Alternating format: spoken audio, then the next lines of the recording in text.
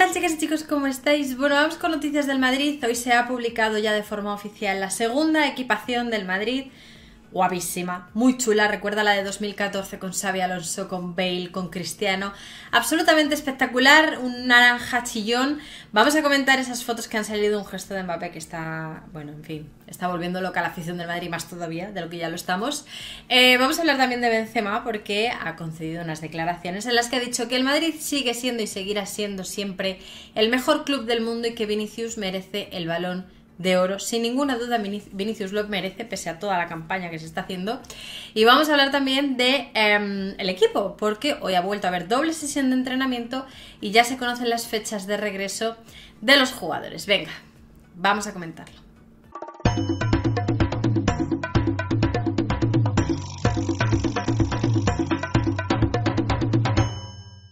Bueno, pues sí, vamos con esa nueva equipación del Real Madrid. Pero antes hay que hablar de kitfootball.com. Ya sabéis que tienen una promoción que no sé hasta cuándo durará, lo repito siempre. No sé hasta cuándo durará la promoción de Kit Football. Aprovechadla ahora que podéis. Con el código ICIAR tenéis un 8% de descuento y además la famosa promoción. Compráis dos camisetas y os regalan una, compráis cuatro camisetas y os regalan dos y así sucesivamente. Tenéis todo en la descripción del vídeo, los detalles, el enlace a la página web, absolutamente todo. La pregunta que más me repetís por privado en Instagram es cómo consigo la camiseta gratis. Tenéis que comprar las camisetas normales, o sea, añadir camisetas normales al carrito, como cualquier compra, añadir al carrito, añadir al carrito. Os vais al resumen del pedido y ahí abajo en el apartado de comentarios ponéis el link de la camiseta que queréis gratis y la talla y ya Kit Football se encarga de cobraros las dos camisetas, pero meteros en el pedido las tres que habéis pedido, las dos que compráis y la gratis. Tenéis todo tipo de camisetas, todo tipo de chandals, por supuesto de más equipos, pero los del Madrid son los más bonitos. Y también, por cierto, eh, camiseta de la segunda, la tercera equipación del Madrid, además de la primera. Cualquier cosa la podéis eh, conseguir en Kit Football, cualquier duda me preguntáis. Y ahora sí, vamos con esa equipación naranja, la segunda equipación oficial del Real Madrid para esta temporada 24-25.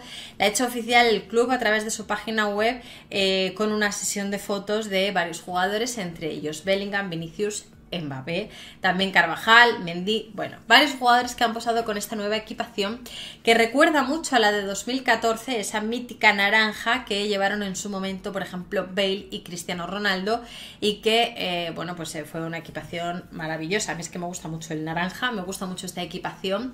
El Madrid lo adorna, ¿no? Eh, cuando ha explicado el diseño, ha explicado que tiene como unos, unas estrellas en relieve de otro color, que los detalles de Adidas, del escudo y de las tiras son en un gris eh, y que recuerda y evoca a las estrellas del noche, de la noche del Bernabéu cuando eh, el techo está abierto y también para eh, que todos aquellos aficionados que no puedan viajar con el equipo a los diferentes estadios del mundo, pues que los jugadores sepan que las estrellas siempre les acompañan. Bueno, en fin, eh, una cursilada que está en su página web, si la queréis leer. Mira, yo soy cursi, ¿eh? pero la verdad es que lo de las estrellas y lo de que los aficionados nos acompañan durante todos los viajes que hacemos, bueno, es verdad, les acompañamos en todos los viajes. No sé si la camiseta refleja bien esas estrellas y el acompañamiento que hacemos, pero oye, estamos ahí al pie del cañón, somos uno, ¿eh? equipo, club, afición, somos uno todos y vamos en la misma dirección, así que Estoy encantada con la camiseta, me gusta muchísimo.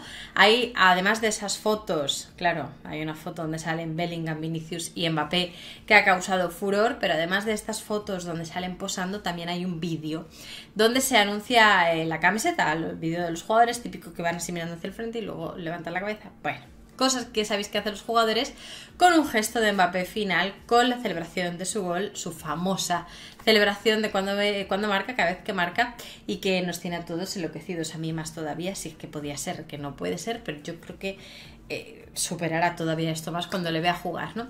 Muy chula la equipación del Madrid. Como he dicho antes, todo lo tenéis en kitfootball.com por si queréis Dicho lo cual, vamos con la vuelta a los entrenamientos, porque hoy ha vuelto a haber doble sesión, ya llevamos una semanita de entrenamientos, ya la cosa va, ¿eh? ya vamos a ir remontando el verano, que ha sido largo, la verdad, un verano de Copa América, de Eurocopa, pero que faltaba el fútbol de clubes y ha sido una semana ya en la que se van, eh, en la que se han ido entrenando. Hemos visto a los primeros 6-7 jugadores que han aparecido por Valdebebas a las órdenes de Ancelotti, los que no han ido con sus selecciones y esta semana va a llegar más gente. Esta semana se espera ya que, por ejemplo, llegue Luka Modric, que llegará yo creo que mañana, porque la noticia es que llegará a primeros de esta semana y no ha llegado hoy, así que supongo que lo hará mañana. Endrick, que se reincorporará el miércoles. Venimos hablando de Endrick, de que ya tiene esos 18 años, de que oficialmente ya sí es jugador del Madrid. Hasta ahora ha estado en Valdebebas entrenándose con un plan específico individual para él, pero ahora que ya forma parte de la plantilla 100%, que ese contrato ha surtido ya todos los efectos, eh, bueno, pues ya puede entrenar con sus compañeros. Será el miércoles cuando podamos verle a las órdenes de Ancelotti con el resto de los compañeros con los que están y podremos todavía, podremos ya ver esas fotos de Hendrik entrenándose con los compañeros, tengo muchas ganas de esto.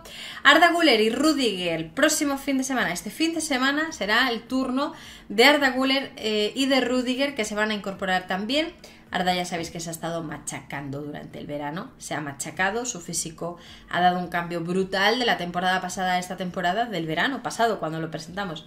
A esta temporada, ha estado, como digo, trabajando mucho su cuerpo también en sus vacaciones y ya este fin de semana se incorporará también con sus compañeros para ponerse a las órdenes de Ancelotti y entrenar muy fuerte. Este año Arda quiere tener muchos minutos, yo creo que va a tener muchos más de los que tuvo el año pasado y todo pasa por empezar esas sesiones de entrenamiento. Vinicius, Rodrigo y Militao irán el 31 de julio, ya sabéis que tenían permiso, a pesar de haber caído en cuartos de la Copa América, tendrían que reincorporarse también este fin de semana, porque el Madrid viaja el domingo a Estados Unidos a esa gira, pero tenían permiso para incorporarse un poquito más tarde siempre antes del 2 de agosto, fecha límite para poder estar en ese clásico, y al final será el 31 de julio cuando viajen directamente a Estados Unidos para unirse con el resto de los compañeros, todos los demás, aquellos que han llegado a semifinales o a finales de Copa América y Eurocopa, ya será después de la gira el 7 de agosto cuando se reúnan con los compañeros Mbappé, Bellingham, Mendy, Camavinga, Chouameni, Carvajal y Valverde. Será en ese momento cuando acabe la gira americana, 7 eh, de agosto, ya digo, cuando se reúnan todos aquí a preparar ese, esa gran final. Siete días más tarde, 14 de agosto, la Supercopa de Europa y después ya tres días más tarde la Liga y ya el no parar. El no parar que estoy deseando. Entonces, eh, bueno, pues como veis de forma escalonada, ¿no? De forma escalonada, el domingo ya viajan a Estados Unidos y a la vuelta nos sujetamos. A la vuelta nos agarramos bien a la silla porque vienen curvas. Vamos con Benzema. Benzema que está en España y ha hablado, ha hablado acerca de la situación del Madrid, de la llegada de Mbappé y de ese balón de oro tan merecido para Vinicius. Eh, siguen dando mm, rankings de eh, cómo están los porcentajes ahora mismo. Vinicius sigue en primer lugar, Rodri sigue segundo, Bellingham sigue tercero. Yo creo que la temporada de Vinicius ha sido inigualable, inigualable, muy por encima de la temporada del resto y Benzema opina lo mismo. Quien, por cierto, como decía, ha dicho que el Madrid es el mejor del mundo y será siempre el mejor del mundo. Ha dicho Benzema, el Real Madrid siempre será el mejor equipo del mundo. Eh, le tiene mucho cariño al Madrid, dijo que cuando se retiró le da pena pero sabía que era el momento de, o sea, de retirarse del Madrid, quiero decir, sabía que era el momento de irse y que cuando mira atrás solo le da alegría sea como sea y fuere como fuere, Benzema siempre será madridista y, realista, porque al final lo que dice es eso, ¿no? que el Madrid es el mejor equipo del mundo. También habló de la llegada de su compatriota, de Kylian Mbappé, diciendo que estaba claro que tarde o temprano iba a suceder. Sabía que tarde o temprano Mbappé jugaría en el Real Madrid. Siempre he pensado eso y así ha sido, es un gran jugador. Y por último, palabras respecto a Vinicius con el que ha compartido vestuario bastantes años, por cierto. Siempre yo creo que en esos momentos eh, el protagonismo era absoluto de Benzema. Vinicius tenía que incluso acostumbrarse a jugar más para Benzema. Ahora que se va o que se ha ido Benzema, Vinicius ha cogido un protagonismo brutal. Eh, es el líder del ataque, es el líder del equipo, es la estrella y y vamos, ha evolucionado muchísimo y mejorado mucho. Benzema lo tiene clarísimo. Vinicius te puede ganar un partido solo con la ayuda de sus compañeros, claro, pero es muy bueno cuando el Real Madrid lo necesita y por eso creo que se merece el balón de oro. Es siempre ahí, ahí que es el mejor candidato para mí. Vinicius se merece el balón de oro por su temporada y no solo por lo que ha hecho este año, sino también el anterior por lo que hace con el balón. Es un futbolista completo. Ya digo que hay campaña, hay cierta campaña con esto de que el balón de oro lo gane, eh, lo gane otro, lo gane Rodri, se han subido muchos al carro de Rodri, a ver, ha hecho una buena temporada Rodri, ha hecho una buena Eurocopa Rodri, pero te quiero decir, si comparas las dos temporadas, tú coges las dos temporadas, la de Vinicius y la de Rodri, y, hombre, yo para mí, en fin, que os diga, ni punto de comparación, ¿no? Benzema está de acuerdo, se suman las voces de Neymar, bueno, de un montón de eh, jugadores y de leyendas que hemos visto que piden el balón de oro para Vinicius y no puedo estar más eh, de acuerdo, ¿no? Quiero saber qué opináis vosotros, qué os parecen las palabras de Benzema, madridista, Benzema madridista hablando de su salida, hablando de que el Madrid es el mejor equipo del mundo, de la llegada de Mbappé y de que Vinicius merece el balón de oro por todo lo que ha hecho. ¿Qué os parece también esa nueva camiseta impresionante, chulísima? A mí me gusta mucho. Y también ese calendario, ¿no? Calendario ya de los jugadores que van poco a poco volviendo de sus vacaciones y ya prontito les tendremos a todos juntos. En apenas menos de tres semanas, están todos juntos ya.